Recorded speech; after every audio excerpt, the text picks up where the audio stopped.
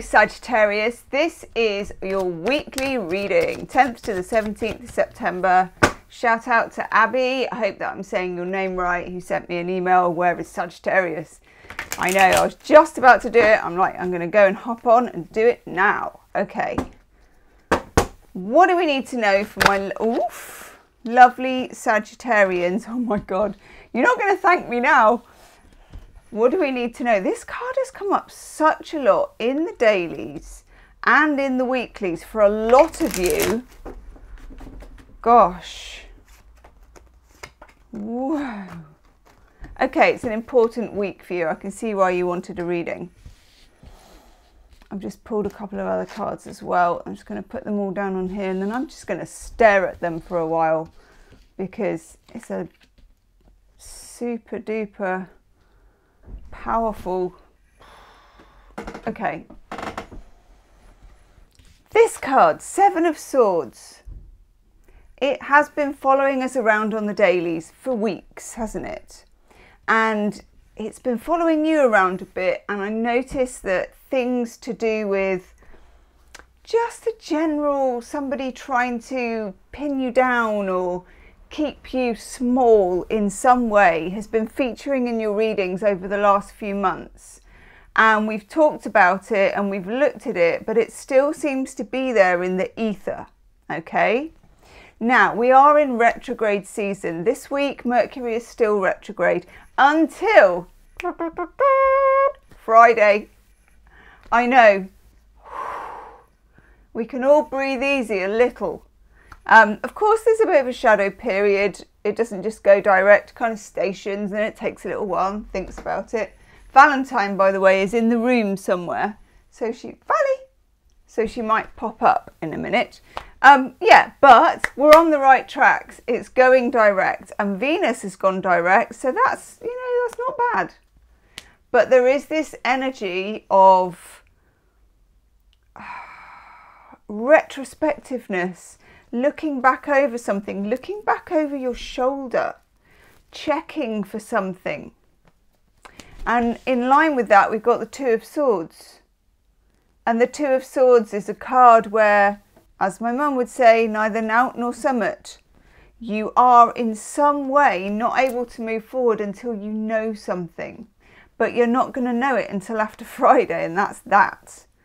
It may be a small thing, it may be more of a major thing, but it's I think this week is a bit of a game changer for a lot of signs, is what I'm getting.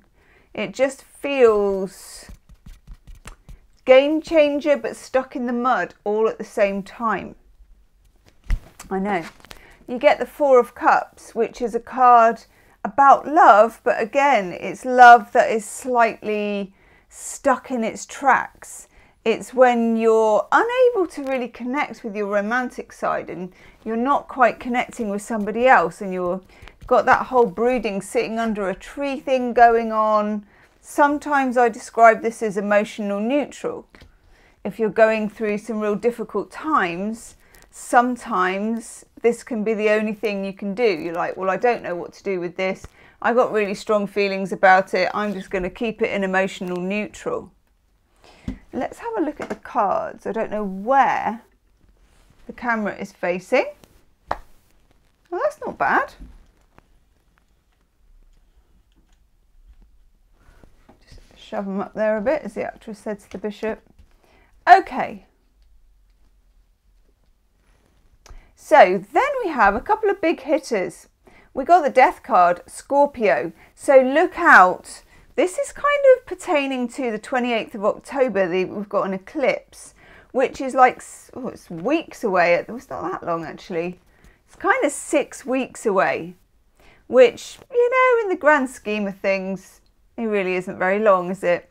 It's something that's going on this week is something to do with this change, massive expansion, going in a different direction, the old order dying off and the new order coming in, you're not going to know what this looks like until you look back on this year and think, oh, that's when that changed.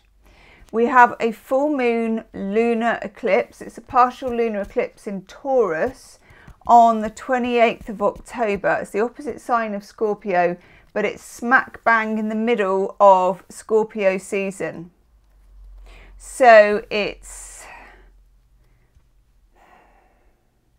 it's something big because it's kind of starting now and going right the way over to then. And then when you have that eclipse on the 28th that's about 6 months worth of energy and it's giving me an itchy ear.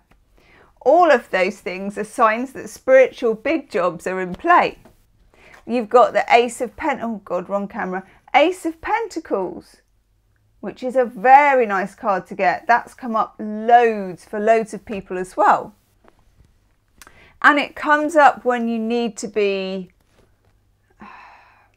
financially aware. Also, if you're thinking of starting a business or a new job or anything with finances, there's a big change in what you do now and a big change that's very positive for the future. So get involved with that. But while we're in the retrograde cycle, until, you know, there's other planets in retrograde, but until Mercury goes forwards, we've got Venus going direct, so that's good revise some of your numbers on whatever it is you're looking at financially. You don't have to make big moves yet, but just revise the numbers. Four of Pentacles, that is another financial card. Sun in Capricorn, very nice. It's what I call money in the bank. I mean, literally, this guy's like, I'm putting him in my treasure chest, and that's it. It's what you invest in. Investment is very important to you. And this week there is the seed of what you're going to invest in. It's kind of echoed for the rest of the year. We have the page of wands. That's nice. So Saggy, as the week goes on, as we get closer to the new moon, you get a bit more energy and a bit more fire in your belly. And you get to be a little bit more of yourself which I really like. Oh, yes. It's very important around the time, God, everybody's had that card too, around the time of the new moon. Oh, they haven't had that one. That you do ask the universe for what you want, that you do send out the message to the universe that you're ready to receive it. Okay? So around the time of the 15th, or have a look when that new moon is going to come, depending on where you are around the world, the timings will be different the night before or the night of that new moon or just any time around then in that 24 to 48 hours time just make sure you've got your rituals and your practices whichever one feels more comfortable to you put it out there with the star because this is like um, manifestation and standing in the source and putting it out to the universe and wishing upon a star. Put it out to the universe however ridiculous you might think it is it's not ridiculous to the universe. Okay? It just isn't. It just sometimes feels ridiculous to us humans, but to the universe, they're like, sure, you can have that. Six of Cups, again, you may be thinking about somebody, you may be longing for something or somebody. Don't make any big moves. If that's a romantic feeling, see how you feel after Friday.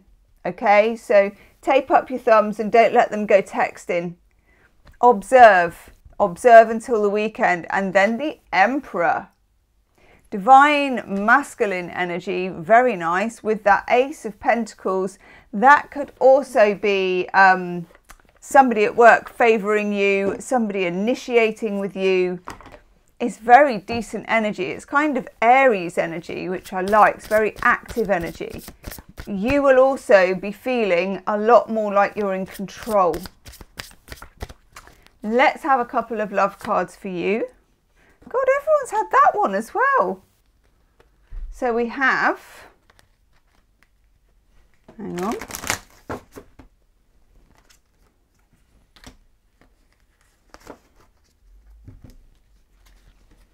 We have the garden and we have inner peace. With the garden, it's like you don't just plant the seeds and go, why is it not growing yet? Why is it not growing yet? It, you need to observe. You've already planted the seeds. Plant some more around the time of the new moon, then lie back in the garden, get some inner peace, read a book, do whatever feels good to you, and observe the results until after Friday when we can start all over again. Thank you, Sagittarius. Do check out your monthly reading. It's in the description box below, and I'll see you soon. Namaste.